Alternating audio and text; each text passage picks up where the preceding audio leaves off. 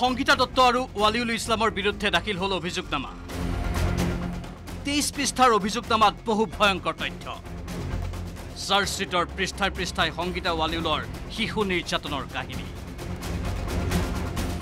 বিকৃত যৌন ক্ষুধা পূৰণৰ বাবে ব্যৱহাৰ কৰিছিল দুই কণমানিক চিকিৎসক দম্পতীয়ে জন্তুৰ দৰে ব্যৱহাৰ কৰিছিল দুই কণমানিক শিশু দুটিক হত্যাৰ উদ্দেশ্যৰে নিৰ্যাতন চলোৱা হৈছিল।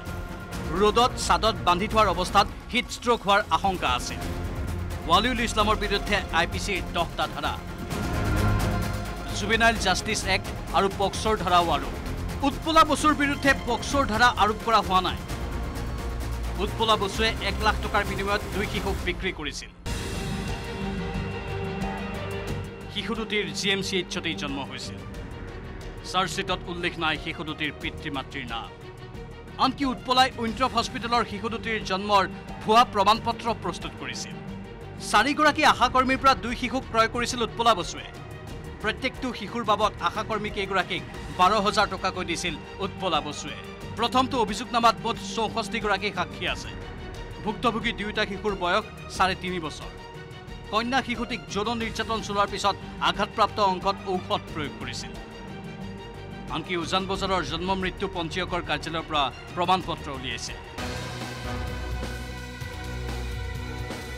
শিশু দুটিৰ ভুৱা প্ৰমাণ পত্ৰৰে পাছপৰ্ট কাৰ্যালয়তো জনাইছিল আবেদন। চাৰ্জ শ্বীটত চিকিৎসক দম্পতীৰ ঘৰত বন্ধ কৰা আন এগৰাকী মহিলাৰ নামো উল্লেখ কৰা হৈছে। দুগৰাকী নহয় তেওঁলোকৰ ঘৰত তিনিগৰাকী বন্ধ কৰা মহিলা আছে। লক্ষী ৰায় কামেংলং নংগ্ৰাম এই দুগৰাকীক ইতিমধ্যে আৰক্ষীয়ে গ্ৰেপ্তাৰ কৰিছে। কিন্তু তৃতীয়গৰাকীক গ্ৰেপ্তাৰ কৰা হোৱা নাই। আপুনি শুনি আচৰিত হ'ব কন্যা শিশুটিক বমি খাবলৈ বাধ্য কৰাইছিল সংগীতা দত্তই। সেই সকলো কথা অভিযোগনামাত স্পষ্ট ৰূপত উল্লেখ আছে। আনকি শিশু দুটিক নিৰ্যাতন চলোৱা প্ৰত্যক্ষ কৰা প্ৰত্যক্ষদৰ্শীক ভাবুকিও দিছিল সংগীতা দত্ত বিদ্যালয়ত কেইবাদিনো শিক্ষকে প্ৰত্যক্ষ কৰিছিল শিশু দুটিৰ গাত আঘাতৰ চিহ্ন। এই তথ্য আৰক্ষীৰ ওচৰত প্ৰদান কৰিছে বিদ্যালয়ৰ স্বত্বাধিকাৰী আৰু অধ্যক্ষই।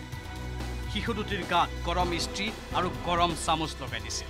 সংগীতা দত্তই নিজেও এই কাম কৰিছিল আৰু বন কৰা মহিলা দুগৰাকীকো কৰিবলৈ বাধ্য কৰাইছিল সমান্তৰালভাৱে উৎফলা বসুৱে লাল এটা চেৰগেচি চেণ্টাৰ চলাই দীৰ্ঘদিন ধৰি বেপাৰ চলাই আহিছিল আৰু বহু লোকক টাৰ্গেটত ৰাখিছিল Hrithik কৌশিকৰ report news eighteen Assam North East.